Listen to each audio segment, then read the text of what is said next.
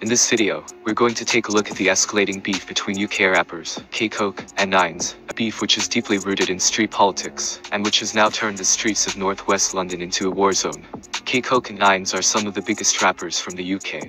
Their songs and videos get millions of plays, and they have strong industry ties. K-Koke once being signed to Jay-Z's Roc Nation label, and Nines routinely bringing celebrities to his hood, including rapper Tory Lanez and boxer Anthony Joshua.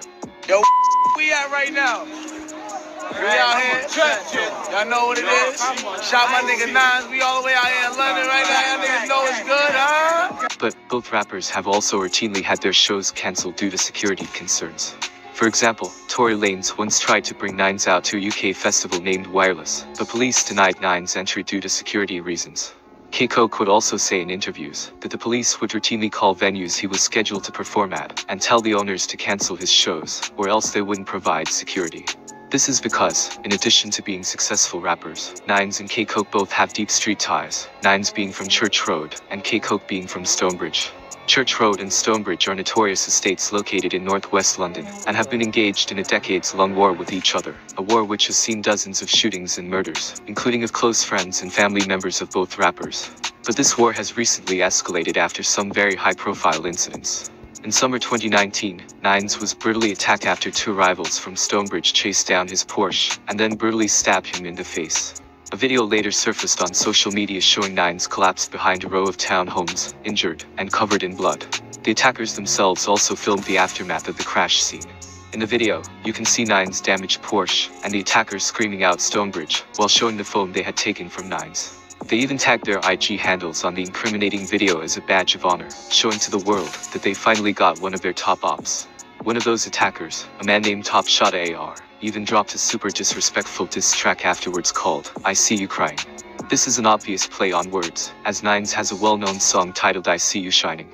After the attack, Nines would disappear from social media, as it was rumored that the stabbing had cut into some of his jaw muscles, impacting his ability to talk, and leading people to question if Nines' rap career was over.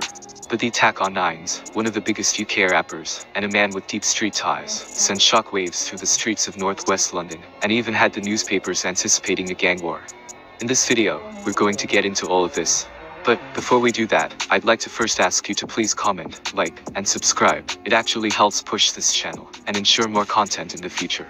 Nines was born Courtney Freckleton in 1990 and grew up in the infamous Church End estate in northwest London, more commonly referred to as Church Road or Ice City.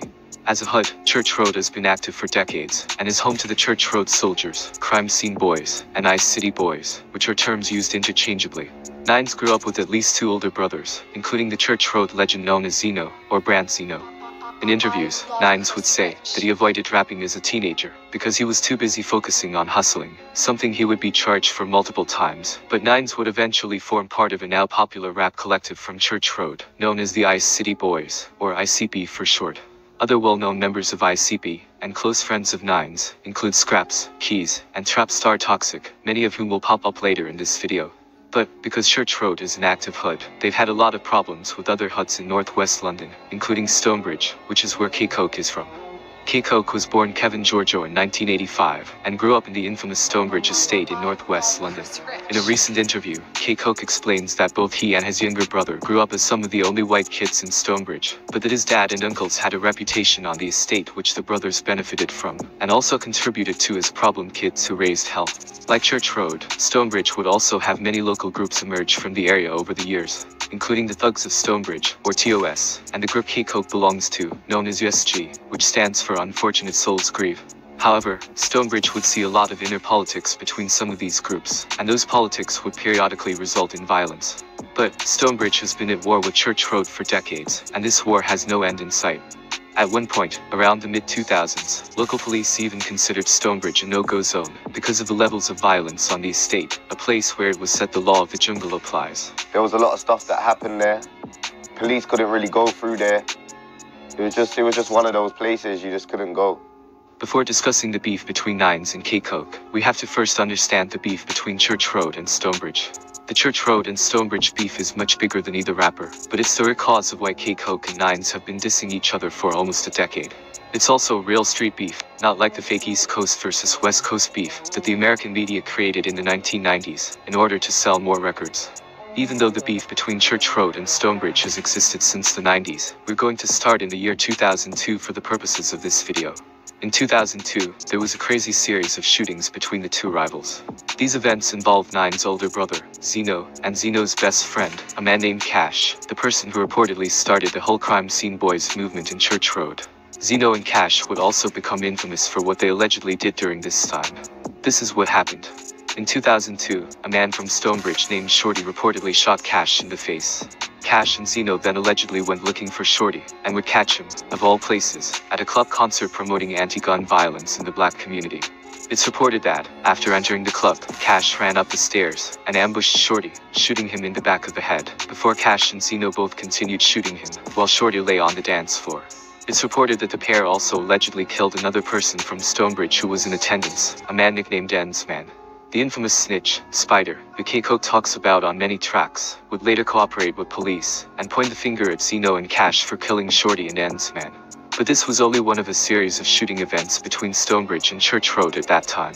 In 2005, Zeno allegedly shot up Stonebridge. It's reported that he drove through Stonebridge late one night, came across a group of approximately 18 people who were hanging out on some steps, and then allegedly fired into the crowd, killing a local man named Troy Robinson. These two shootings made a big impact in Stonebridge, and Troy and Shorty's names can be heard on many early songs by K-Koke and other affiliated rappers. But Zeno had become such a problem for his enemies that Stonebridge eventually hunted him down. In April 2008, Zeno was at a barbershop, waiting for his cousin to get a haircut, when a man linked to Stonebridge, named E1, ran into the shop and shot Zeno in the head, killing him. E1 and his co-accused in the case, Richie Boo, were both charged and convicted for killing Zeno. The police considered it a revenge attack for Shorty and Ends Man, and both men were handed lengthy prison sentences. Cash and Zeno had already both been charged for the deaths of Shorty and Ends Man. But after Zeno died, Cash faced trial alone.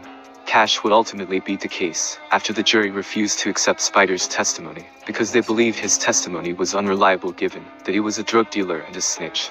However, Cash would later be charged with murder again, in 2011, after getting into a shootout following a Caribbean carnival, and accidentally killing an innocent bystander. He was found guilty, and handed a long prison sentence. This is only a very brief background of the politics between Stonebridge and Church Road, politics which are very deep, and extremely serious. At the same time, the street politics in northwest London become even more complicated when you realize that many of the local estates have split into two warring camps. For example, on one side there is Stonebridge, and other estates such as South Kilburn, which is where rapper C-Biz is from. On the other side, there is Church Road, and other estates such as Mozart, which is where rapper Fredo is from. A man can't tell me nothing because no one's dead over here. The ops are dying, they've been dying. This is what I'm gonna say. Suck your mum, Fredo. You're gonna end up like Nines. You're gonna end up like Scraps. You're gonna end up like Jazzman. You're gonna end up like anybody. You name anyone from anywhere, from Church Road, from Mozart, from Kensal Green, you're going to end up like them. This is the context out of which the beef between Nines and K-Koke developed. The first publicized incident involving K-Koke and Nines happened around 2010, when a group of youths from Church Road ran up on K-Koke at a barbershop. The incident was caught on tape, and you can see K-Koke stand his ground before the youths rushed at him. What? 30 man, K Koke, Church Road, crime scene, one order. Yeah, 30 man. What? What? I'll bang the What? K-Koke was left unharmed, but the youths got a hold of his jacket and began pouring beer on it as a sign of disrespect, while also saluting Zeno, who had himself been killed by Stonebridge while at a barbershop. The roads is cold. The roads is cold, fam. You ran and left your coat today. Yo, yo, give me some juice. What's that? Keiko's cold. Zeno Z. That Keiko's cold. I see that Keiko. I hear me. I see that Keiko. Church Road. You know how it goes. K-Koke would later address the barbershop incident in his music. He would say that he didn't deal with the youths or have anything done to them afterwards because he had bigger business to attend to. This explanation was actually based in some truth, as around this time K-Koke would sign a record deal with Jay-Z's Roc Nation, a deal he wouldn't want to jeopardize by getting arrested. Though, ironically, he would later be arrested for attempted murder in an unrelated incident, and still be dropped by Roc Nation regardless. But Nines would slickly address the barbershop incident on his breakthrough track, Trapper of the Year. K-Koke had dropped a song called Lay Down Your Weapons, and Nines would address the barbershop incident by saying, quote, niggas violate the ting, no I'll spray them in a second. If I had a record deal, I still ain't laying down my weapon, pussy. This was a direct shot at K-Koke, and one of the first times the two rappers would go at each other over the music. K-Koke eventually responded to the subliminal with an entire diss track aimed at Nines, called Listen Little Man. On this song, K-Koke would say that he only told the kids to lay down their weapons, and that he still had his. He would also ask Nines where his weapon was after his brother died, implying that Nines didn't avenge Zeno's death. But the most quoted line from this diss track was when K-Koke said, quote, Your brother died in 06, the dickheads in the HUD giving out turkeys. This line refers to an early video Nines put out before his rap career took off, where he was handing out turkeys to residents of Church Road. In a recent interview, Nines would himself say that, before his career took off, and while in jail, people would come up to him and refer to him as the turkey guy, instead of as Nines the rapper. That's what's mad. I wasn't even known as Nines at that time. The whole jail's just calling me the guy that gave out turkeys. Oh yeah. Yo, yeah. that's the guy that gave out turkeys. That's the guy that gave out turkeys. However, on the same diss track, K-Koke would make a reference to a chain snatching incident involving Nines. In 2016, there were two major chain snatching incidents involving rappers from both sides. The first incident was between Church Road and another one of their rivals, the Stonebridge affiliated estate of South Kilburn, which is where rapper C-Biz is from. Sometime during early 2016, C-Biz was robbed of his jewelry while leaving a club in West London. The next day, Nines posted a video of himself with the stolen jewelry while dissing C-Biz, saying not to compare him with these dabbing ass rappers. I told man don't be comparing man to these dabbing ass rappers, B. Tell your guy come get your this is the old version again. This ain't a new plate. Man's like, don't, get that beat. It's on 15 seconds number plate. Shortly after the video was posted, police claimed C-Biz plotted revenge, resulting in an innocent man being gunned down with a machine gun in a case of mistaken identity. C-Biz and his co-accused would later beat the case. One of the defendants was a well-known grime musician known as C-Biz. Shortly after his acquittal, David Ozadabe spoke to the media. Did you do much writing in jail or? No, not really writing. I was trying to put two things together, but just thinking. Just thinking, man. His lawyers said he felt deeply aggrieved, spending eight months in jail waiting for his name to be cleared. One of his co-accused, a fellow rapper named Hurricane, would even drop a track called First Day Out, in which he thanks God for being free, and then does the dab dance move, the same dance move Nines was referring to when he said not to compare him to these dabbing ass rappers. A second chain snatching incident would also happen in 2016, when a close friend of Nines and fellow rapper, Big Keys, was reportedly robbed of his ICB chain by Stonebridge. A video would then be posted on social media of people claiming to have robbed the chain. During the video, Nine's Trapper of the Year song is playing in the background, the same song in which Nines first is K-Koke. A Stonebridge rapper named Top Shot AR would also later shoot a music video in Church Road while wearing the ICB chain. In the song, AR would not only diss Nines, but also K-Koke, despite the fact that AR and K-Koke are both from Stonebridge. Big Keys and K-Koke would then throw shots at each other online. Big Keys claimed to have stabbed K-Koke, while both of them were in jail. I got everyone DMing me this K Koke blood clot bullshit.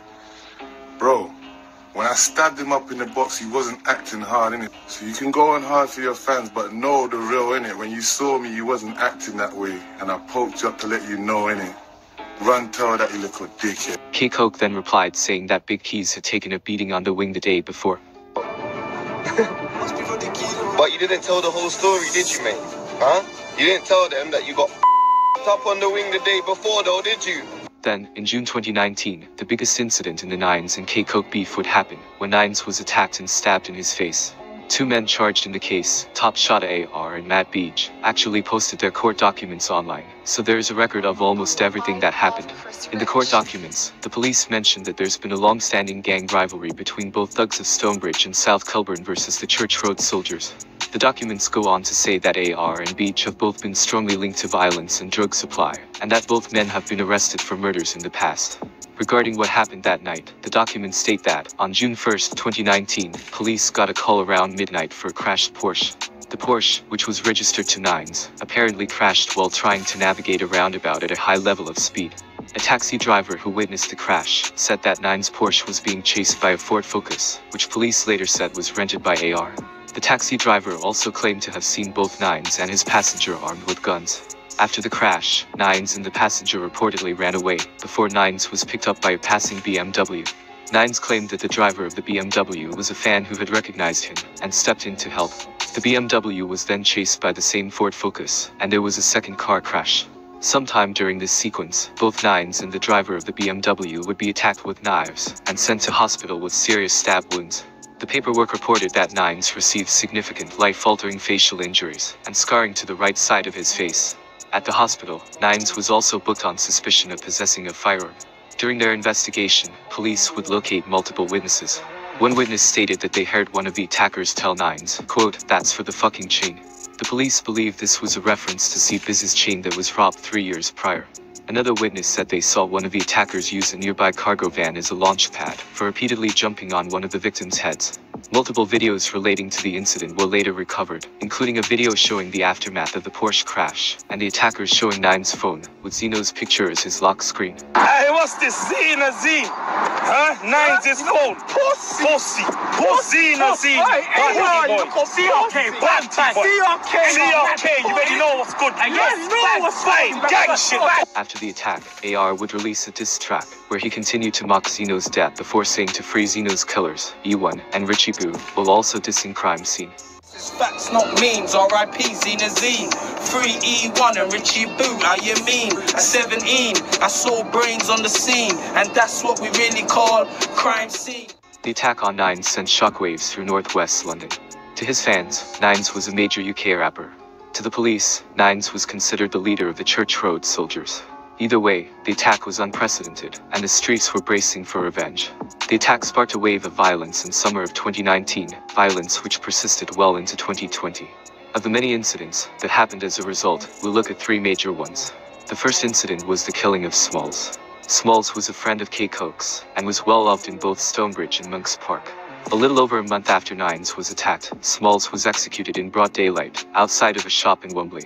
The footage of the shooting was leaked online after a police officer reportedly filmed the CCTV footage with his cell phone. In the footage, you can see Smalls standing outside a shop when a masked man rushes towards him and executes him before he can even realize what's happening. The second incident happened shortly after. Seven minutes after Smalls was killed, the same group of shooters targeted another person from the Stonebridge side. A man named Big French was sitting in his car when someone tried to shoot him, but the gun fortunately jammed. This incident was also caught on CCTV. These two shootings rocked northwest London, but were only a few of the many incidents which resulted from the attack on Nines. However, the third incident really drives home how sad the situation is. After Smalls and Big French were targeted, police would arrest the same four men in connection with both shootings. All four men were either members or affiliates of ICB. Among the arrested included Scraps, Jazzman, YD, and Streets. It's also reported that, while in jail awaiting trial, Scraps was nearly stabbed to death in retaliation for Smalls. Fast forward a year later, to summer 2020, and the third incident happened, when a man shot YD's baby mother, two teenage relatives, and his two-year-old son in the neck, as apparent retaliation for Smalls. The level of callousness that it requires to shoot at babies, women, and teenagers is unthinkable. But, as if that wasn't bad enough, it's rumored that the shooter's own father was later gunned down in Jamaica as retaliation for this third incident. K. Koke was reportedly in jail when. Koke was reportedly in jail when was killed. But after being released, he dropped a new Daily Duppy freestyle in which he talked about Smalls' passing, saying that he felt broken over the death of his friend. Nines would also recover from his injuries, drop a chart-topping album, and win a Mobo Award. However, Nines' bounce back was short-lived, as